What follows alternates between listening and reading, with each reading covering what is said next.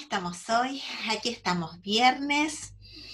Les cuento que hace un ratito recién acabo de subir el vídeo de ayer. Mal, mal, mal. Pero bueno, aquí estoy. Así que hoy van a tener dos vídeos, el de ayer y el de hoy. Eh, bueno, estos días estoy como loca porque estoy preparando todo. Aquí que viene mi madre. Así que súper ocupada. Em, y bueno, eh, ya terminando nuestro desafío, este desafío de 21 días que hemos hecho, eh, les recuerdo para algunos que se puedan estar sumando recién ahora a ver los vídeos, que comenzamos con este desafío para tratar de crear un nuevo hábito o para tratar de em, cambiar un hábito que, queríamos cambiar, algo que no nos gustaba, ¿sí? Eh, crear un nuevo hábito es difícil, cambiar un hábito malo es más difícil aún. Por eso siempre se aconseja cambiar por algo diferente, no directamente tratar de abandonar un hábito malo, porque esta vez es tan arraigado en nosotros que nos cuesta mucho más. Si nosotros reemplazamos eso negativo por algún hábito positivo, si en el mismo tiempo que antes hacíamos algo que no nos gustaba, comenzamos a hacer algo bueno, algo que queremos, que sabemos que es bueno para nosotros, va a ser mucho más fácil.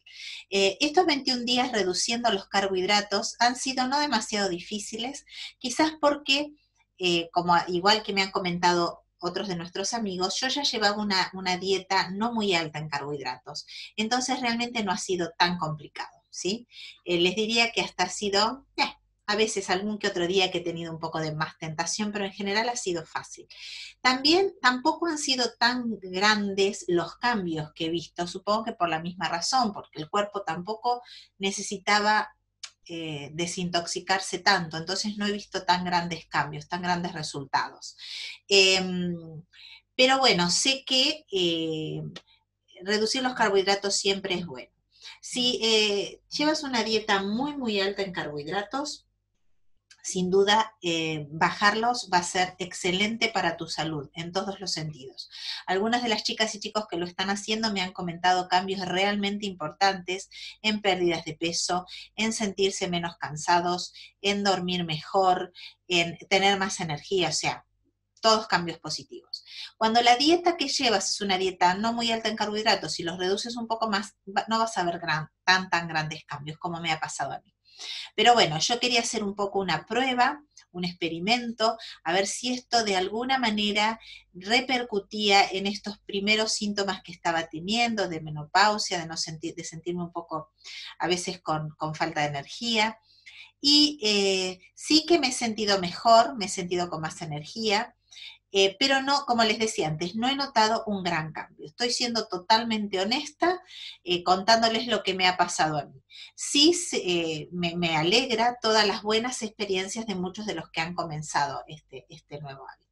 Así que bueno, vamos a ver, quedan ya muy poquitos días. Les contaba que mañana sábado voy a estar en, Madrid todo el día, así que les mandaré quizás un directo cortito para contarles cómo me va. Y mm, eh, el domingo, que va a ser el último día, ya voy a estar acá.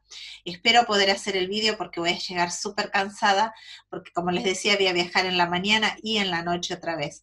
Pero voy a tratar de hacer el vídeo para poder contarles ya que fue el último día. Pero sin duda el lunes sí que haré un vídeo y también un post para dejar un poco la evaluación, no solo de lo que a mí me ha pasado, sino de experiencias de, de otros de nuestros amigos, para contar más o menos separando en las tres semanas del desafío cómo ha sido eh, cada una de las semanas, los cambios que hemos notado.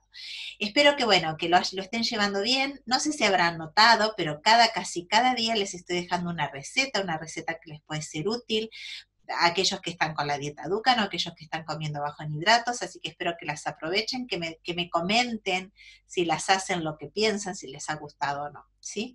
Ayer les, les dejé la receta del eh, bizcocho de chocolate súper fácil, que es súper fácil y es riquísimo, parece brownie realmente. Así que bueno, hoy les voy a dejar una receta de un desayuno. Un desayuno que es súper saludable y que mucha gente lo, lo reemplaza solamente reemplazando el desayuno por esta clase de desayunos, que son desayunos muy bajos en hidratos, ya solamente con eso hay gente que baja de peso y que se siente mucho mejor. Así que les aconsejo que lo prueben. Les dejo un beso grande y ya nos vemos mañana desde Madrid. Un besote. Adiós.